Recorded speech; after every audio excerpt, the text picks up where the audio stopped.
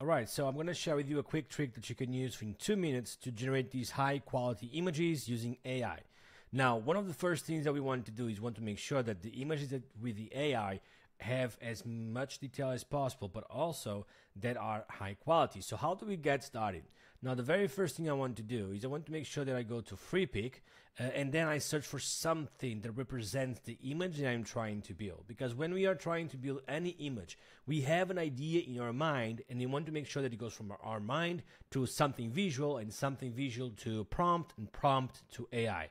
So let's go ahead and do that. In this case, I'm using Freepik to search for an image and here I selected this one in, in this specific scenario, but you can use any other prompts, uh, any other image. So for example, let's say uh, that we use like this one.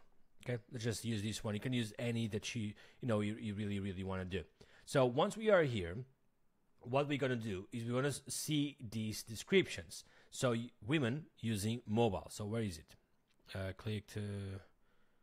Well, I lost the picture for some reason. Let's go ahead and do something else real quick. Let's go for. see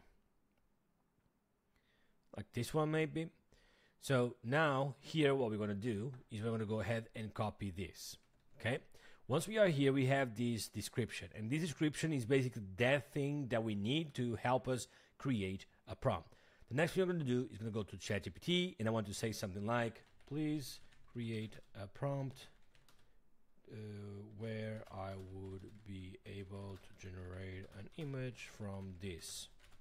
Okay, and then you paste it. Sometimes he's going to create a prompt, others he's going to generate an image. So in this case, he's generating an image. Let's give it a couple seconds.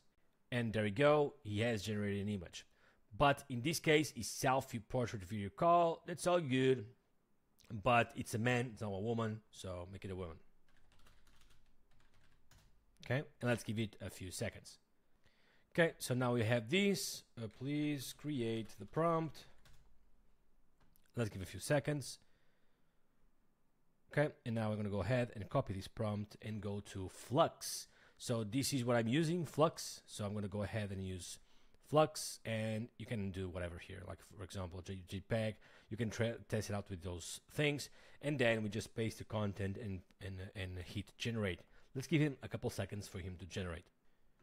So there we go. Now we have a picture of a selfie, a woman. Uh, it's nearly perfect here, and it's you know it kind of represents these kind of things. Now, the benefit of this is now we can recreate this and then ask him to do something specific, like for example, uh, you know, showing a, a, hand or waving or whatever. You can add like a necklace, whatever. We have the foundations of the prompt, and then we can go ahead and say, uh, add a necklace, uh, a necklace made of pearls, and then let's go ahead and start creating, giving a couple seconds, and then once you do this, now we have the foundation.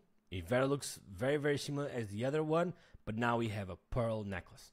So this is how you can create very simple images, nearly perfect AI images uh, with these kind of tricks. Go ahead, have fun.